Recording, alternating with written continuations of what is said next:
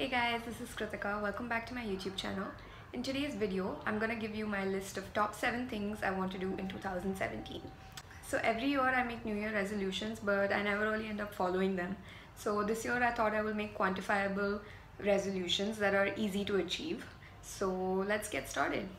So the first thing on my list is to travel. I know that sounds very cliched and everybody wants to travel, but yeah that's on that's the first thing on my list. I love traveling and this year i want to take at least two or three vacations. I know that might be a little ambitious because i also have a full-time job but yeah that's what i want to try and achieve this year. So the second thing on my list is to read more books. So ever since i was a kid i have always loved reading and i've been a very avid reader. But over the last couple of years i haven't really been reading that much.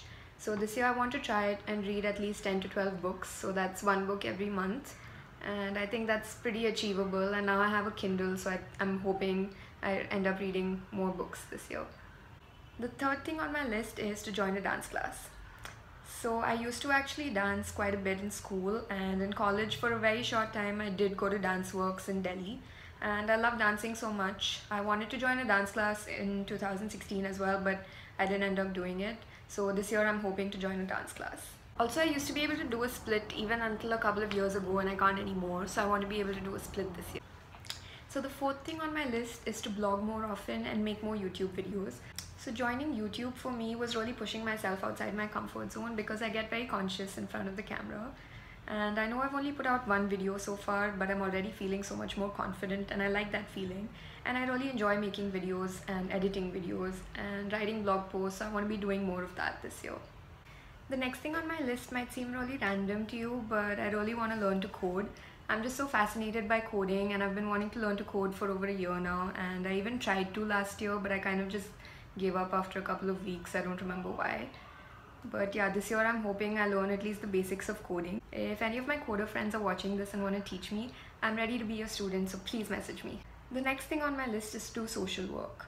I'm so grateful for everything that I have in my life and I think it's very important to give back in whatever way you can.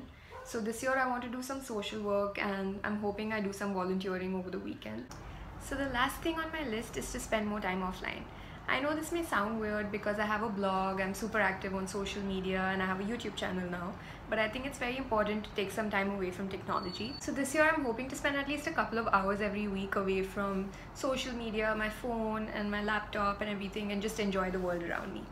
So that's it from me guys, those were all my new year resolutions. I'm hoping by putting this video up on YouTube, I actually end up following my resolutions for 2017. I'd love to know what your resolutions are, so please let me know by commenting below. If you enjoyed this video, please give it a thumbs up. Thanks so much for watching and don't forget to subscribe. I'll see you guys next time. Bye!